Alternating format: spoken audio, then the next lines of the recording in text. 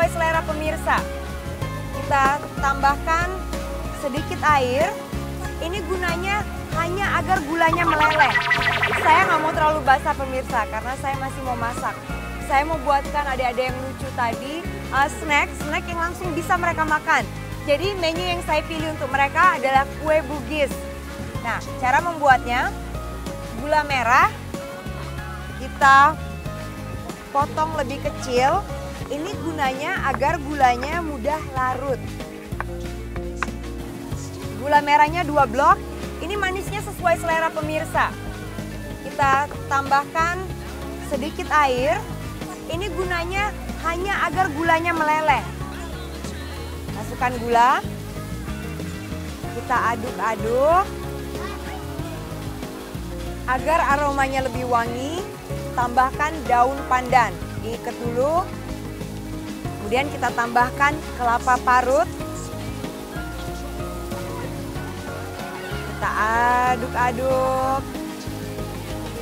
Sedikit garam. Nah, ini kita tumis sampai mengering. Untuk adonan kue bugisnya 150 gram tepung ketan. Kita tambahkan 4 sendok makan tepung tapioka. Jangan lupa sedikit garam, penting sekali.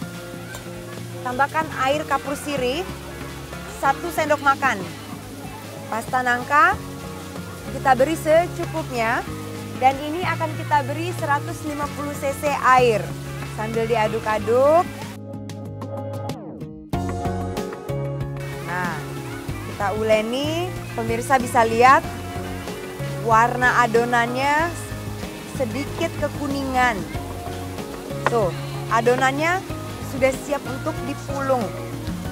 Sekarang kita mau buat the little parcel. Bentuknya bentuk kerucut.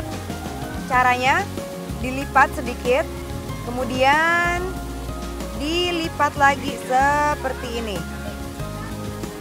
Pemirsa bisa lihat, jadi bisa kita isi kerucutnya.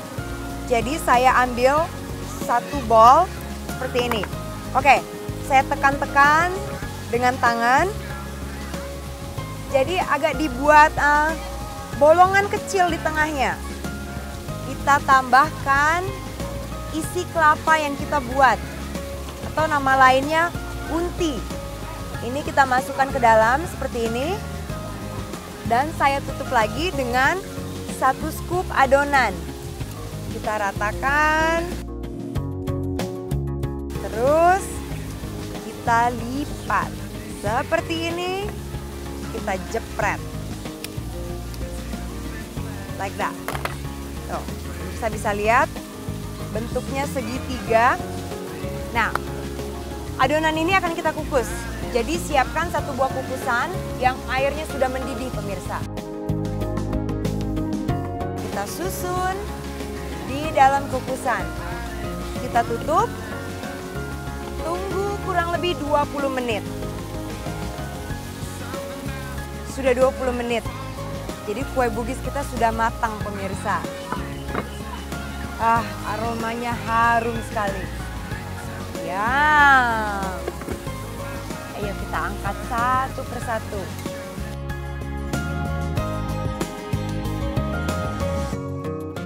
Mudah-mudahan adik-adik kecil tadi pada suka. Ah, they're gonna enjoy this.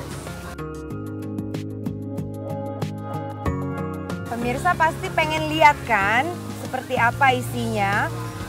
Saya bukakan satu ya. Nah pemirsa, dalamnya seperti ini nih. I hope they like it. Alright, this is it. Kue Bugis ala Chef Queen.